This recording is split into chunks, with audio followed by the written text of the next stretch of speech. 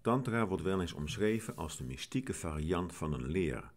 Zodoende zou je met enige fantasie ook de Tantra kunnen herkennen in de Joodse Kabbalah, de christelijke gnosis, het Soefisme in de islam en bepaalde shamanistische gebruiken. En ja, Tantra is mystiek in zijn oorsprong, en toch zijn deze vergelijkingen niet geheel correct. Een sluitende definitie geven van wat Tantra is, is niet zo eenvoudig, omdat de Tantra op vier verschillende plekken op de wereld is ontstaan, in verschillende tijdfases, met fundamenteel verschillende uitgangspunten. De ene Tantra is de andere niet. Drie van deze vier stromingen zijn eeuwen oud en één stroming is slechts tientallen jaren oud. Het overeenkomstige van deze drie traditionele stromingen is inderdaad dat het mystiek is, wat het tegenovergestelde van scholistisch is. Met scholistisch bedoel ik schools. Ieder hetzelfde leren op dezelfde manier, in hetzelfde tempo, uit dezelfde boeken, met dezelfde leraar, met dezelfde eindstreep en dezelfde doelen en dezelfde examens. Het gemeenschappelijke karakter is dus dat het mystiek is. Je leert weliswaar hetzelfde als elk ander, echter vanuit een andere benadering, niet vanuit een boek, structuur, dogma of overtuiging, maar door het zelf te gaan ervaren. De leraar leert jou niks, hij plaatst jou alleen maar in een situatie waarin jij kunt leren. En zo zijn er nog vier duidelijke overeenkomsten in deze drie traditionele stromingen. De inhoud bepaalt de vorm, nooit andersom. Het is geen religie en zijn geen goden. Het is vrij van rituelen en symboliek. En het is een individueel proces. Vorm en inhoud worden vaak verkeerd begrepen. Je hebt inhoudsloze inhoud en inhoudelijke inhoud. En je hebt natuurlijke vorm en kunstmatige vorm. Inhoudelijke inhoud is altijd verifieerbaar, toetsbaar, logisch en altijd herkenbaar in de natuur. Natuurlijke vorm is als een natuurlijk beekje waarin het water vrij is om te stromen. Een kunstmatige vorm is weer het schoolse, het dogmatische, het gestructureerde. Alles is opgebouwd uit vier elementen, die elk van nature vormloos zijn: aarde, water, lucht en vuur. Gezamenlijk vormen zij de natuur en heeft een natuurlijke vorm. Maar je kan de natuur wel gaan vormen, dan krijgt het een kunstmatige vorm. Soms moet dat, vaak niet. En soms vinden mensen het fijn, andere mensen niet. Wil jij een netjes aangeharkte voortuin of laat je de natuur zoveel mogelijk zijn gang gaan? Plan jij je vakantie vooraf in met ezelsoren in je toeristenboekje of koop je alleen een heenticket en bij aankomst zie je het wel? Het ene is niet beter of slechter, alleen anders. De tantra volgt het natuurlijke beekje de natuurlijke vorm en probeert zoveel mogelijk weg te blijven van de kunstmatige vorm. Echter, de tantra kent zijn beperkingen, want de natuur heeft zijn beperkingen. Want ook een natuurlijk beekje en de hele natuur is veranderlijk, is afhankelijk en heeft altijd oorzaken en altijd gevolgen. De mens is ook natuur en ook wij zijn onderhevig aan deze wetmatigheden. Wij veranderen continu. We zijn afhankelijk van onze omgeving en alles wat we doen heeft oorzaken en gevolgen. Ga je tegen deze natuurwetten in, dan maak je het enorm lastig voor jezelf. De Tantra leeft vanuit de inhoudelijke inhoud, rekening houdend met deze wetmatigheden. En de vorm die je dan krijgt, is een natuurlijke vorm, geen kunstmatige vorm. En dat doen we vanuit het mystieke. Niet vanuit een structuur, niet vanuit een dogmatiek, niet iedereen hetzelfde, maar vanuit ervaring en beleving. De inhoud bepaalt de vorm. Tantra is dus mystiek en een uitnodiging om het helemaal zelf te doen. Een godheid past daar niet bij. Een godheid is sowieso niet verifieerbaar, niet toetsbaar, niet logisch, en nimmer herkenbaar in de natuur. Als je een God eert, dan laat je een deel aan Hem over en ga het niet meer zelf doen. En een religie is nooit mystiek. Het is mysterieus, maar dat is wat anders. Religie gaat één op één met onwetendheid. Zodra we inzicht en wijsheid hebben verkregen, verdwijnt de religie. Religie is de gestructureerde onwetendheid en past dus nimmer bij het plaatje van de Tantra. In geen van de drie hoofdstromingen binnen de Tantra heeft religie een plek. Goden ook niet. Hetzelfde geldt voor ceremonies en rituelen. Alleen moeten we hier een voetnoot plaatsen. De Indiase Tantra maakt namelijk heel veel gebruik van de symboliek, maar draai het niet om. Een cavia is een harig beest, maar niet elk harig beest is een cavia. In de Indiase Tantra is ontzaglijk veel kennis en wijsheid opgebouwd, en de symboliek werd vaak als didactiek gebruikt. En dat doen wij ook. Ga maar na. Als iemand aan mij vraagt hoe mijn date gisteren ging, en ik antwoord: Ik heb er vlinders van in mijn buik, dan gebruik ik de symboliek om mijn gevoel weer te geven. En dat werkt, want de ander snapt direct wat ik bedoel. Wil hij echter ook verliefd raken, dan moet hij geen vlinders gaan eten. Je kan dus wijsheid in symboliek plaatsen, maar met die symboliek bereik je nog niet die wijsheid. De natuur laat het ons zo helder zien. Al het conditionele is continu in beweging, heeft ontelbaar oorzaken en heeft invloed op ontelbaar gevolgen. Dit enkel rationeel begrijpen is wederom schools en de Tantra neemt daar geen genoegen mee. Voor de drie traditionele stromingen is dit aspect fundamenteel, want hier ligt alles opgeslagen wat te maken heeft met loslaten en overgave.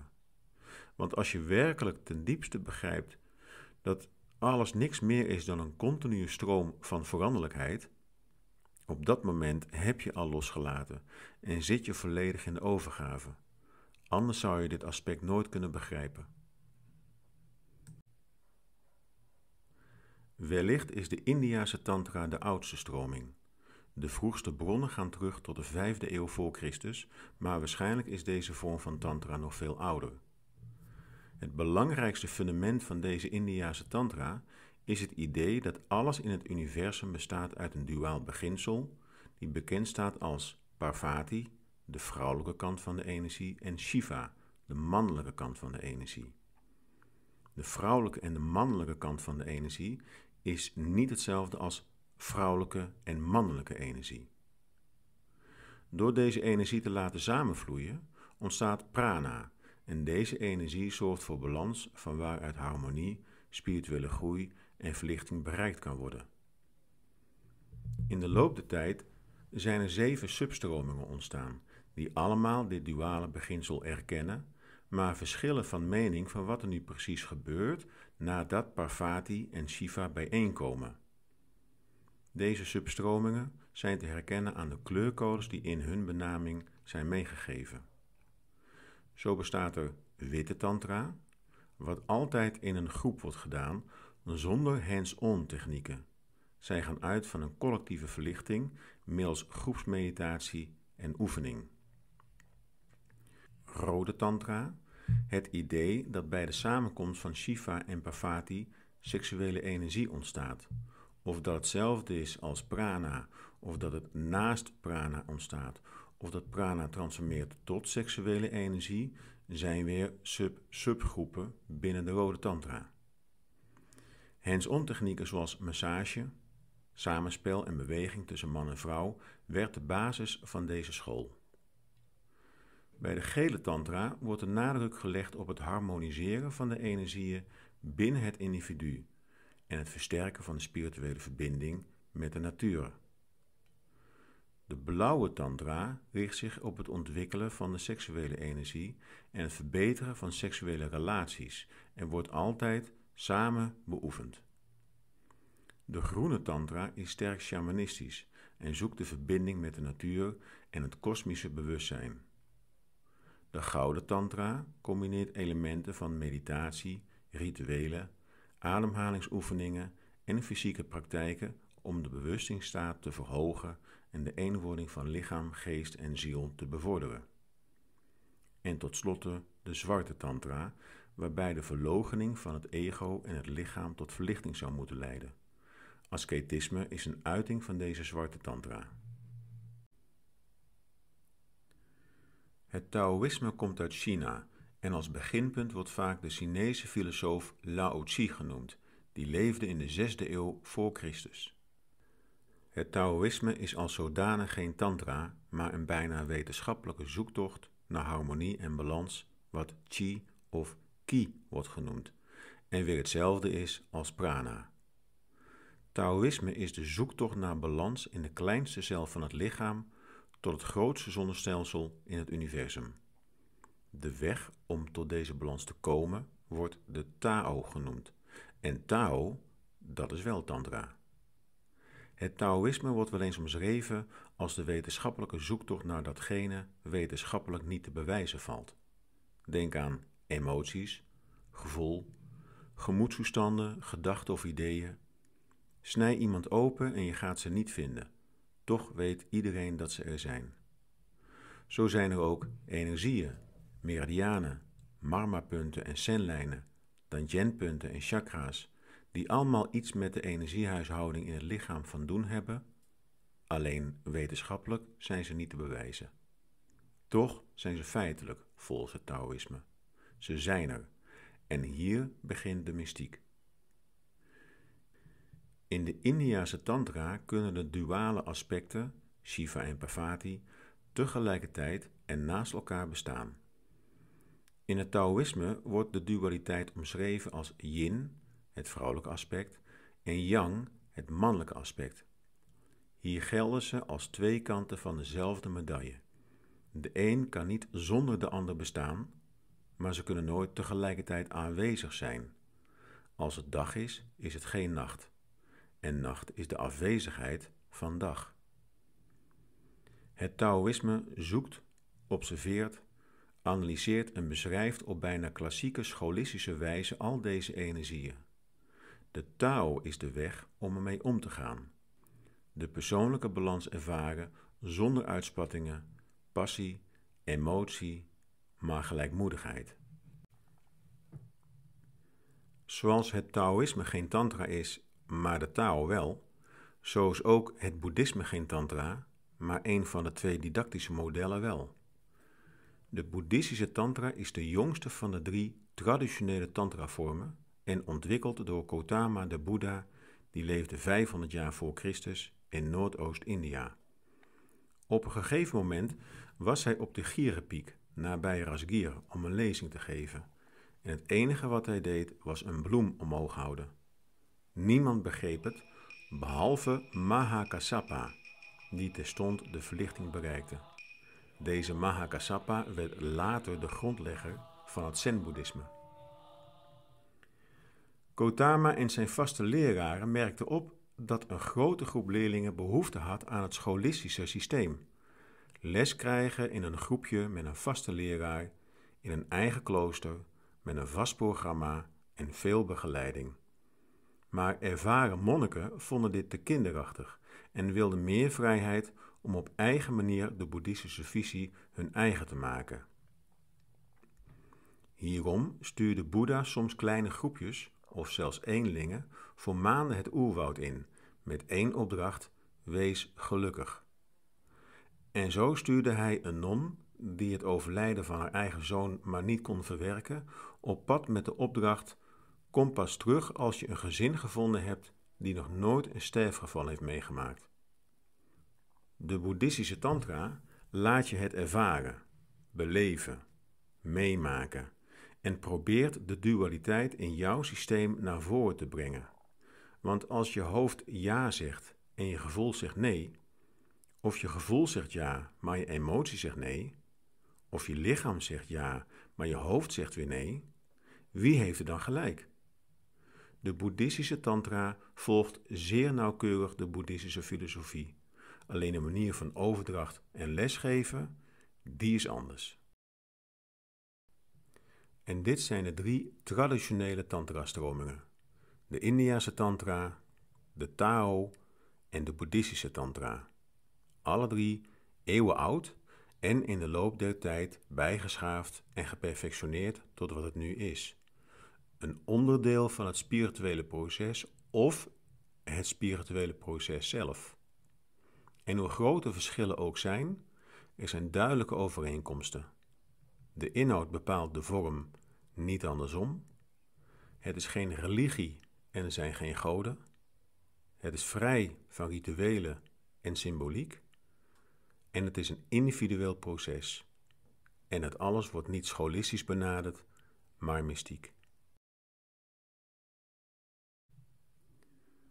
Neotantra ontstond in de late 20e eeuw als reactie op veranderende culturele en sociale context en beïnvloed door bijvoorbeeld Osho. Het omvat elementen uit de drie traditionele tantra-stromingen, maar neemt ook invloeden op van westerse psychologie, humanistische benaderingen, New Age, westerse esoterie en sexual healing technieken. Neotantra legt een nadruk op persoonlijke ontwikkeling en veel minder op spirituele groei. Het is voornamelijk een sociaal proces met veel hands-on technieken en doorgaans in een groep. Binnen de neotantra wordt seksuele energie gezien als een krachtbron die kan worden benut voor persoonlijke transformatie. Het moedigt individuen aan om hun seksualiteit te omarmen als een belangrijk aspect van hun wezen en biedt technieken en oefeningen aan om seksuele energie bewust te kanaliseren en te laten stromen door het lichaam.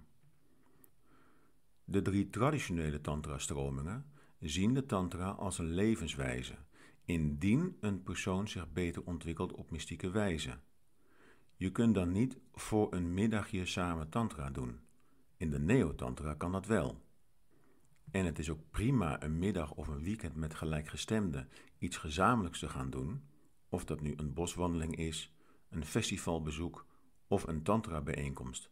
Maar op dat niveau ligt het ook. Een uitstapje uit het dagelijks leven en even iets heel anders doen en heerlijk genieten. Het raakt het persoonlijke en het sociale proces aan, maar niet het spirituele. Daarvoor moet je bij de drie traditionele tantra-stromingen zijn. De verschillen tussen de drie traditionele stromingen en de neotantra zijn dus wezenlijk. De overeenkomsten tussen de drie traditionele stromingen is juist het verschil met de neotantra. Zo zagen we bij die drie traditionele stromingen dat de inhoud de vorm bepaalt en niet andersom. Bij de neotantra bepaalt de vorm de inhoud. Bij de drie traditionele stromingen is het geen religie en zijn er geen goden. Bij de neotantra is het goddelijke aspect juist heel sterk aanwezig. Het vrije karakter van rituelen en symboliek wordt ingeruild voor juist veel rituelen en symboliek. En elke traditionele stroming heeft een individueel proces in zich, en bij de Neotantra is het een collectief gezamenlijk proces. Door de kernwaardes van de traditionele Tantra bijna 180 graden om te draaien, vervalt het mystieke karakter van de Neotantra. Of Neotantra dan nog wel Tantra is, is twijfelachtig. Voor een nieuweling in de Tantra is het belangrijk te weten waar je aan begint en in welke stroming je wilt beginnen. Wil jij op een niet-scholistische manier leren wat prana is en balans doet, maar je komt terecht op een cursus waar ze werken op de seksuele energie, dan zit je daar niet op je plek. En ook binnen de drie traditionele stromingen zijn de verschillen nog steeds groot. Dus doe gedegen vooronderzoek eer je met de tantra wilt gaan beginnen. Ben jij echter iemand die meer floreert bij structuur, een duidelijk programma met een inhoudsopgave en een syllabus, begeleiding, dan is de tantra wellicht helemaal niks voor jou, ongeacht de stroming, traditioneel of nieuwe tijds. Wat helemaal niet erg is, want er zijn meerdere wegen die naar Parijs leiden. En een bordje met de tekst die kant op en als je er bent herken je het vanzelf en veel plezier onderweg. Dat is voor de ene groep een avontuur en voor de andere groep een heuse bron van ergernis. Wel, in dat geval begin er niet aan, want nogmaals, er zijn meerdere wegen naar Parijs.